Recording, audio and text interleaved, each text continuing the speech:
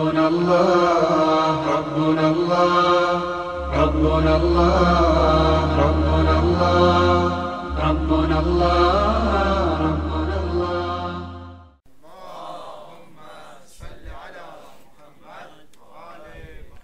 وعلى أهل بيته الطيبين الطاهرين Brothers and sisters, very good to see everyone again. Alhamdulillah. The title for today's lecture is kind of a unique title. The title is I Can't Get No Satisfaction. The Curse of the Greedy and the Miserly. And inshallah, we'll talk about today how to find some satisfaction in our lives and how to avoid this curse of the greedy and the miserly. Allah subhanahu wa ta'ala says in well known surah, Surah Al-Takathur, Al-Hakum al-Takathur hatta zurtum al-maqabir. Allah says, the, the haste, the mutual rivalry, rivalry for piling up the good things of this world diverts you until you visit the graves. Allah subhanahu wa ta'ala is talking to all humanity here. And He's saying, don't fall into this foolish race, into this, some might call it a rat race, right? Where you're just spinning your wheels, trying to pile up good things in your life. Good things meaning, excuse me, not good things, trying to pile up mutual possessions, trying to pile up things that you own, wealth, trying to pile these things up until the day that you fall into the grave and you have nothing to show for your life but material possessions that do not follow you into the grave, do not vouch for you on the day of judgment, and do you ultimately no good.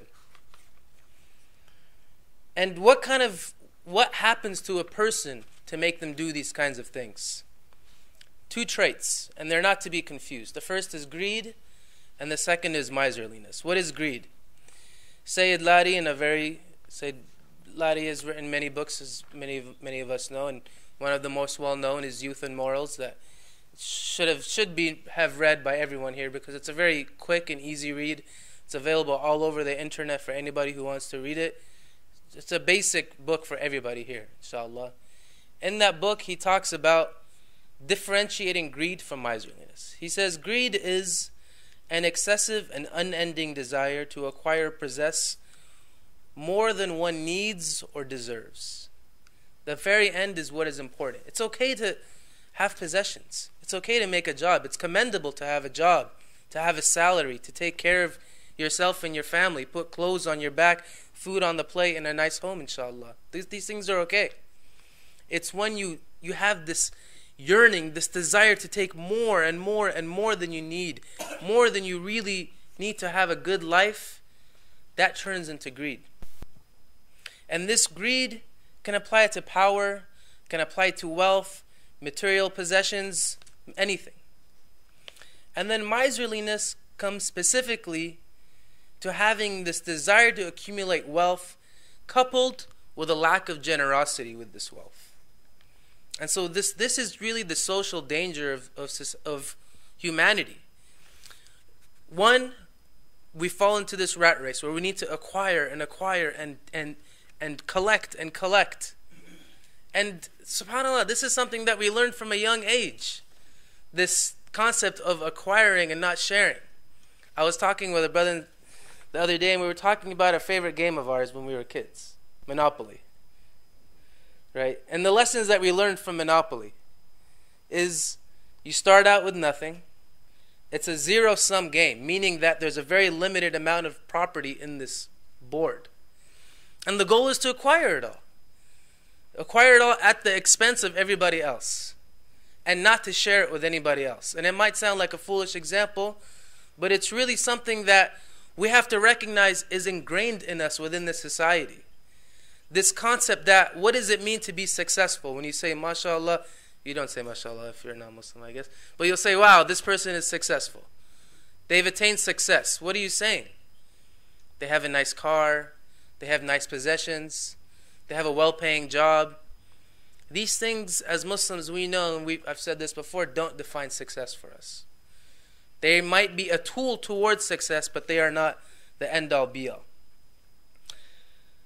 The Prophet of Prophet sallallahu says, Islam does not resent a thing more than miserliness. And he talks about specific afflictions and calamities which arise from the greedy. He says a greedy person faces seven acute problems. And we'll go through each of them, inshallah. Number one is worrying. A greedy person constantly has this worry that what they have is not enough, that what they've acquired is not enough, and they need to acquire more. They need to accumulate more. They're constantly afflicted with this. This worrying translates into the second calamity the Prophet warns us about, which is depression. A depression that, why is it that I work so hard and yet I can't accumulate enough to satisfy myself. And it's this is very important to qualify this. It's it's many of us, subhanAllah, we work hard. Right? We come home and we're exhausted from some of the work. It's the nature of where we are. And a good hard day's work is not something to be said it's not it's not it's something to be proud of. It's not something to be ashamed of. But it's important to understand why are we doing that. It's not simply to accumulate for the sake of accumulation. The third calamity that can befall the greedy is exhaustion, from which, this is in the hadith, from which death is the only relief. And with that relief, the greedy shall be more exhausted. The greedy are forever trying to accumulate, and so they end up with this exhaustion where sometimes you, you hear it. They can't make time for their families, can't make time for society, can't make time for volunteer work, can't make time for sitting down with their spouse and asking them how their day was, racked with this need, this burning desire to keep accumulating. A fourth fear is a fourth, excuse me, calamity is fear. This fear that others may think them not to have enough, that they may be inadequate in the minds of others. For greed is intricately linked to pride and arrogance. That when somebody finds satisfaction they don't care what others say about them. They don't care if the car they may be driving might not be as nice as the one next to them. And so, fear. The fifth calamity is sadness, which can kind of be the accumulation of all of these things. The sixth calamity is judgment, a judgment that comes in the hereafter. The seventh calamity, therefore, is punishment, from which there is no escape or avoidance. And so these are really the seven calamities that fall upon the greedy and the miserly. For this reason, a miser can never rid themselves of worry and depression. Imam Ali alayhi salam, he says, I am amazed at the miserable misers, for they cause the poverty from which they run to come faster, and miss the wealth which they sought. In this life they live the life of the poor and will be judged in the hereafter, the judgment of the rich. This is the ultimate curse, the paradox of the greedy. In this life, you live as if you are poor because you're constantly striving, you're constantly trying to accumulate possessions and goods and, and just wealth for the sake of wealth. You don't have a purpose. So you live this life as if you don't have anything because you're always striving for it. And then in the hereafter, how are you judged? You're judged as someone who is rich.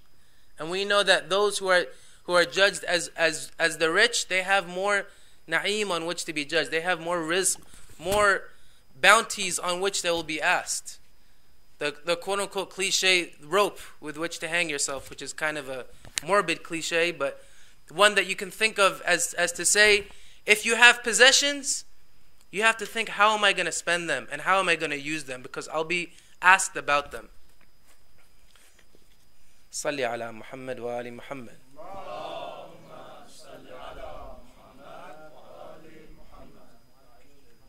So, what's the solution? How do you attain satisfaction? Right? The number one solution I would posit, inshallah, and my, my, my hypothesis here is that satisfaction comes when you have a purpose, when you have a goal in life. This can be a two year goal, a five year goal, a 10 year goal, but each and every one of us should have some goal in life.